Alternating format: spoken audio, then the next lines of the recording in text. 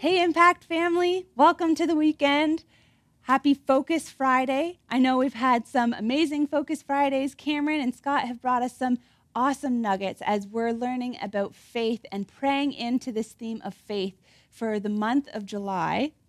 And as I was listening a couple weeks back, Cameron was talking about this idea of how faith has a direction.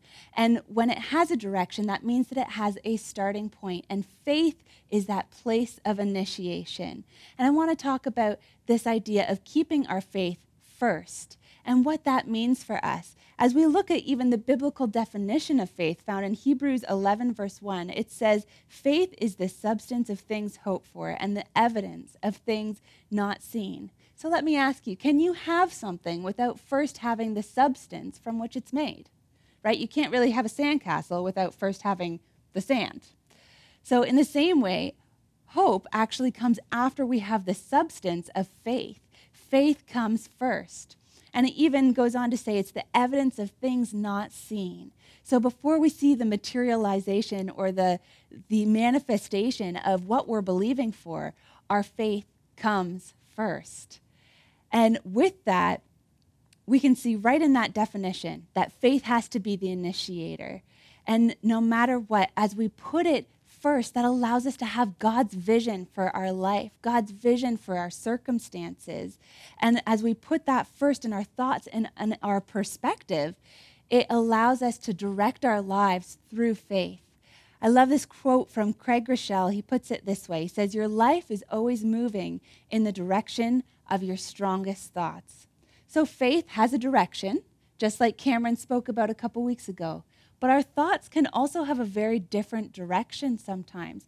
And we have to ask ourselves which voice is speaking loudest in your life?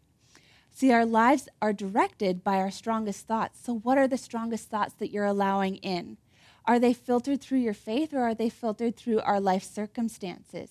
And we have to ask ourselves that on a daily basis. And the Bible actually speaks to us about surrendering our thoughts to God. And really, when we look at this this faith concept, faith is not an act of striving, but it's a result of surrender.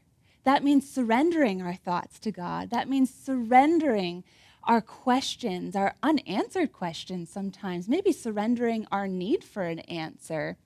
And um, putting faith first requires even surrendering our understanding in some of those circumstances. Some uh, Proverbs 3, verse 5 to 6 tells us to trust in the Lord with all your heart and lean not on your own understanding. In all your ways, acknowledge Him, and He will direct your path. So, part of that trusting and putting faith in God is that we place that before even our need to understand. And that's part of that surrendering part of faith that when we put it first, that doesn't mean that we blindly ignore our problems and, and we live in this bubble um, called faith, but it means that we do put our faith in a place and we prioritize it above us needing to know all the answers. Bill Johnson says it this way Faith does not deny the existence of a problem, it denies the problem a place of influence. So, as we place our faith before our problems or our life circumstances, we can then see them through the lens of our faith. And so when we put our faith first and we have our life circumstances here, then we actually get to see our circumstances through our faith. We get to see them through the perspective that God wants to, us to see them through. But sometimes we have to ask ourselves which lens are we seeing through? Because when we keep faith first, we get God's perspective. But it can be so easy for us to put our life circumstances first. And then we have to struggle to try and reach through our circumstances to get to our faith and to muster up faith to believe for what God wants in our circumstances.